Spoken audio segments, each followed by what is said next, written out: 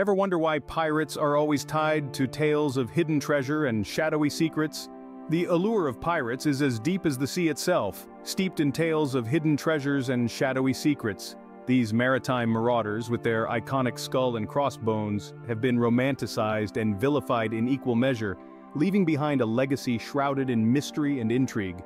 Take the infamous Edward Teach, better known as Blackbeard for instance, his name alone evokes images of a fearsome figure with a wild beard, his face wreathed in smoke from the slow-burning fuses tucked beneath his hat. Blackbeard's reign of terror on the high seas was brief but dramatic, with tales of his exploits spreading far and wide. Yet it's the legend of Blackbeard's hidden treasure that continues to captivate our imagination. Despite extensive searches, no one has ever found a single doubloon adding another layer of mystery to his already enigmatic persona. Then there's Captain William Kidd, a man who straddled the line between pirate and privateer. Kidd's story is one of ambition, betrayal, and a treasure that sparked countless legends. After being convicted of piracy and sentenced to hang in the year 1701, Kidd left behind a tantalizing clue. He claimed to have buried a massive treasure somewhere, a fortune in gold and jewels that's never been found. These stories and countless others like them have cemented the link between pirates and hidden treasure, creating an irresistible allure. The promise of untold riches, the thrill of the hunt, the lure of a mystery unsolved. These are the things that keep us enthralled by pirates centuries after the last pirate ship disappeared over the horizon. And it's not just about the gold. These were men and women who lived outside the law, who dared to defy empires and chart their own course. Their legends are a potent mix of rebellion, adventure, and the eternal human yearning for freedom and fortune. So buckle up, mateys. We're about to embark on a thrilling voyage through the annals of pirate history. But were all pirates really as ruthless and greedy as the legends portray? This question compels us to delve deeper into the lives of these maritime marauders. The truth is, many of these individuals were driven to piracy by harsh social and economic circumstances, the disparity between the rich and the poor, along with limited opportunities, made piracy an attractive option for many. In the 17th and 18th centuries, the age of piracy, the world was a place of stark social and economic contrasts. The rich enjoyed lavish lifestyles while the poor were left to toil away. Opportunities for advancement were scarce, especially for those born into poverty.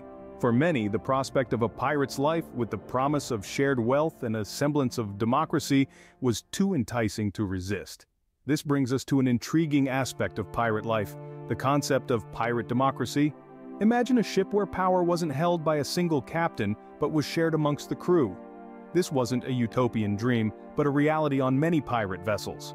Pirate crews operated under a system of shared power where decisions were made collectively. The spoils of their exploits were also divided equally among them. A pirate's life wasn't just about plundering wealth, it was also about sharing it. This democratic system was a stark contrast to the rigid hierarchies of the time. Pirates challenged the class system that kept the rich rich and the poor poor. They sought freedom not just from the laws of the land, but also from societal norms. They were rebels fighting against the status quo, seeking a life of liberty on the high seas. Turns out pirates were not just treasure hunters but society's early rebels, fighting against the class system and seeking freedom on the high seas. They were miscreants to some, misunderstood to others, but undeniably they were a symbol of defiance and a beacon of freedom in a world bound by chains of inequality.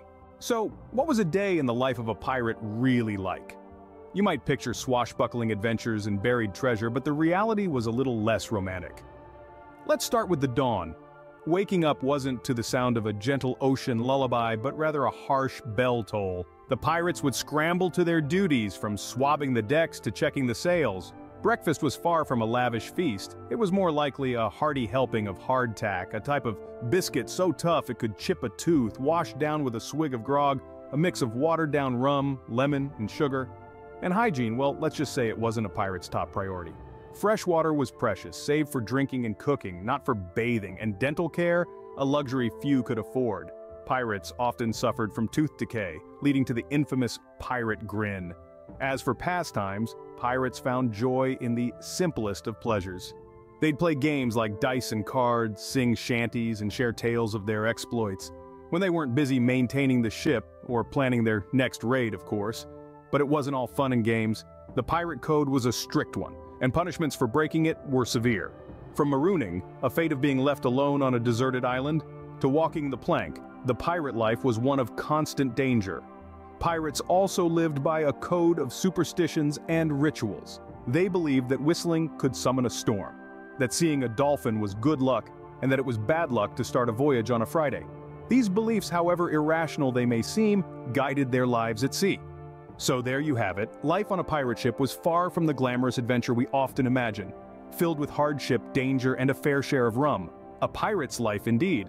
But amidst all the peril and plunder, could there be room for romance, you might ask? Well, the high seas were not just filled with cutlasses and treasure chests, they also held tales of love and passion. Let's take a journey back to the early 18th century and meet the fiery Anne Bonny and the flamboyant Calico Jack Rackham. Bonny, a woman who had left her husband to embrace the pirate's life, fell in love with the charismatic Jack. Their love story was no secret, and they sailed together, causing havoc and stealing hearts, not just treasure. Their passionate affair was so intense that when Jack's ship was finally captured and he was sentenced to death, Bonny's last words to him were, Had you fought like a man, you need not have been hanged like a dog. Now, if that isn't love on a pirate ship, I don't know what is, but their story is not an isolated one. The high seas were more progressive than you might think, with women taking on roles not just as lovers but as leaders.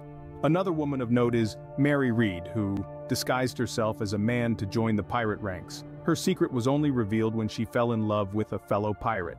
Women like Bonny and Read were not mere passengers in pirate society. They were active participants, leaders, fighters, and lovers. They were respected and feared in equal measure, and their stories are a testament to the unexpected complexities of pirate life. So, while love might not have been the main pursuit for most pirates, it seems that even the hardened hearts of these buccaneers could be touched by Cupid's arrow. The tales of Anne Bonny and Calico Jack, Mary Red and her unnamed lover, remind us that beneath the skull and crossbones, there were hearts that beat not just for gold and glory, but also for love. So while love was not a pirate's main pursuit, it seems even the hardened hearts of buccaneers could be touched by Cupid's arrow. But what happened to these swashbuckling sea dogs? Did they all meet a watery grave? As we voyage into the 18th century, the golden age of piracy began to ebb away. The seas became less welcoming to these maritime marauders. The world's naval powers began to expand their patrols, their ships cutting through the waves like sharp blades, bringing an end to the reign of pirates. It was as if the sea itself had turned against them.